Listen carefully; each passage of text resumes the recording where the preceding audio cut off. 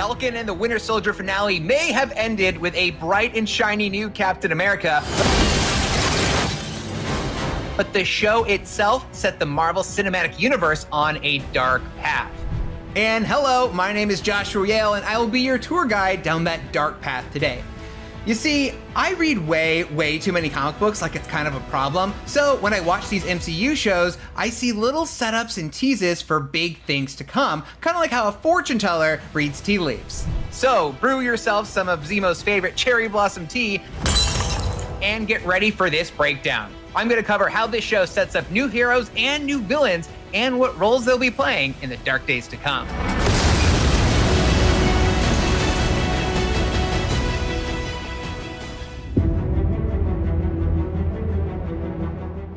Let's start on the bright side of things coming out of the Falcon and the Winter Soldier, or should I say, Captain America and the Winter Soldier. That's right, Sam Wilson has taken up the mantle of Captain America, just like in the comics. His time as Cap came about during an era in the comics known as all new, all different Marvel. Many other icons got a shake up too. This is when Jane Foster transformed into the new Thor, a big change we already know is coming to the MCU in Thor Love and Thunder. So, when Sam Wilson joined the all new, all different Avengers, it was with a roster that looks an awful lot like the MCU's upcoming schedule. Thor was on the team and she had a romance with Sam, so there may be some love and thunder in his future. You know, there's some sparks might fly there. You know. Electricity puns. Anyways, the roster also included Miss Marvel, who's getting her own MCU show, and Vision, who just happened to return to the MCU in WandaVision and could really use some new friends to get his mind off boats. Neither is the true ship. Both are the true ship.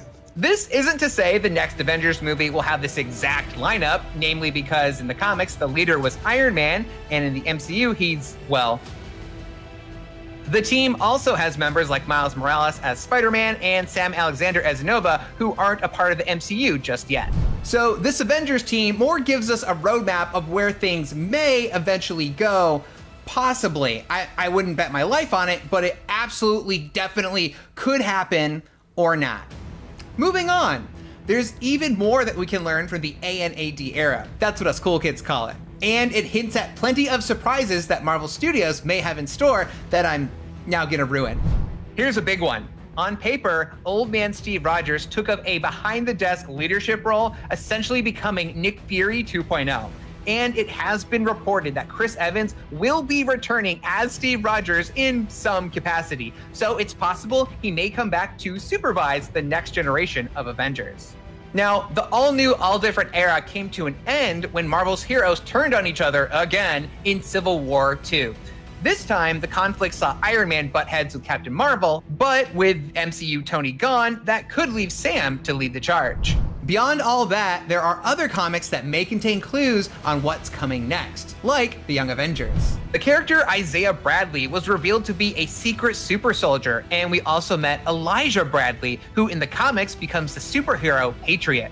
Marvel has been slowly introducing the other members of their premier teen team, and now Eli can join in on all the Young Avengers fun when they presumably make their debut. And if you were wondering why Sam's military buddy Joaquin Torres was so interested in those broken wings, it's because Marvel was clearly setting him up to become the new Falcon, just like in the comics. Wait, yo, you forgot the wings. Keep them. The Hollywood Reporter broke the news that a fourth Captain America movie is in the works. So I expect to see Sam wielding the shield as Cap and Torres playing his wingman as the new Falcon. Speaking of Captain America 4, given that the head writer and creator of The Falcon and the Winter Soldier, Malcolm Spellman, is developing the movie along with fellow show writer Dalan Musson, it seems more than likely it'll star Anthony Mackie's freshly minted Captain America. Now, in the comics, Sam became Cap in 2014 and went on to wield the shield for four years. So, if that's any indication, he'll have a long and healthy run as Cap in the MCU. For villains, he fought the daughter of the Red Skull, known as Sin, a new version of Hydra, and the hate group, the Sons of the Serpent. Suffice to say, there's no shortage of evildoers for MCU Sam to shield bash in his next high flying adventure. And let's not forget about everyone's favorite one armed killing machine, Bucky Barnes, who may be walking a very different path after the events of the Falcon and the Winter Soldier. A darker path, perhaps? because I've been saying how things have been going down a, a darker path, you know, and just do the card. The man formerly known as the Winter Soldier may have crossed all those names off his list and reconciled his traumatic past, but my theory is he's headed for quite a bit more trauma when he joins the Thunderbolts.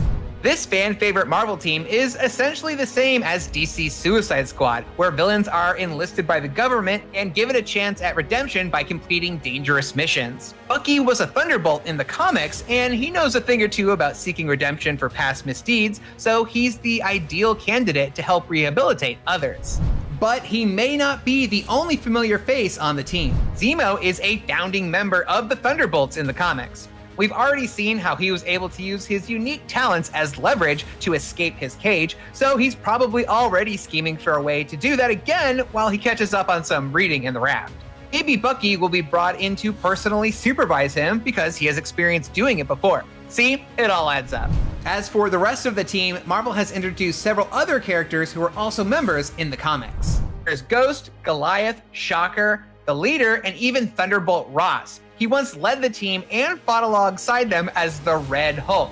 Yep, there are different colored Hulks, and I hope Marvel introduces them all and lets us taste the whole gamma irradiated rainbow. We haven't seen Ross in Phase 4 yet, but perhaps he's working on this new team as we speak as a way to finally exercise control over the world now that the Avengers aren't around anymore.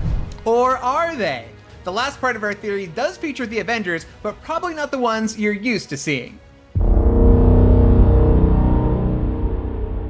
When the Contessa, aka Val, made her surprise debut on The Falcon and the Winter Soldier, it opened up a whole world of storytelling possibilities. And my best guess on where they're going? She will assemble the Dark Avengers. You see, in the comics, Val is a super spy character, a triple agent with ties to S.H.I.E.L.D., Hydra, and Leviathan. And given how her first move in the MCU was to recruit Captain America himself, John Walker, it seems clear she's up to no good and she wants to put together a team. I'll be in touch. But what is her plan and where will we see her next? If Marvel casts an A-list actor like Julia Louis-Dreyfus, then you've got to imagine they've got big plans for her character, and a piece on her cameo in Vanity Fair says as much. So I've got some thoughts. Val has strong ties to Nick Fury in the comics, where she fought alongside him and had a rather complicated romantic relationship with him. We know the Secret Invasion show will star Nick Fury, so we could possibly see her show up to, you know, rekindle things with her ex and backstab him in a power play to take over the world. Sounds like something she would do. The Secret Invasion comics saw Earth's heroes defend against a surprise attack by evil shape-shifting Skrulls. But what's most interesting about this story is the ending. It changed the status quo of the Marvel Universe like I've never seen before. So when the Skrulls were all but defeated, Norman Osborn blindsided the heroes by taking out the Skrull Queen and taking all credit for saving Earth. In exchange for his heroic act, the government exonerated him for as many, many crimes as the Green Goblin and put him in a position of total power to protect the world going forward. And thus he disbanded the Avengers and assembled his own team of Dark Avengers with villains posing as heroes. This began the era of Marvel Comics known as Dark Reign. Now, Norman Osborn has not been introduced to the MCU, but Val is similarly powerful and influential and likes wearing purple, so she could just as easily take on his role in the MCU's version of Dark Reign. You see where I'm going with this? And she has Sharon Carter, aka the Power Broker, to feed her secret intel and help her seize power. Start lining up our buyers. Super soldiers might be off the menu, but we're about to have full access to government secrets, prototype weapons, you name it. The Contessa already has a dark Captain America, now known as US Agent, so it's easy to see her recruiting other agents of evil to fill out her own personal Avengers team. Val was actually supposed to debut in the Black Widow movie, maybe that's so she could invite Yelena to be her Black Widow. Abomination is returning in the She Hulk series, so he could be her Dark Hulk. Agatha could be her Scarlet Witch, Mordo could be her Doctor Strange, her Hawkeye could be this sharp stick I found, and Justin Hammer would make for a fitting Dark Iron Man. As for Dark Thor, that was Ares in the comics. We do know that the Greek god Zeus will be in the next Thor movie, so maybe Ares will pop up there.